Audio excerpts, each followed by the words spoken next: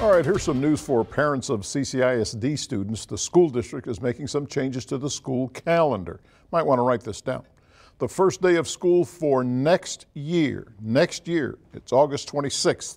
Students are going to get a full week off for Thanksgiving next year. Last year, you'll recall, students and staff were only given three days off. School board also voted to give the kids and the staff two weeks off for Christmas.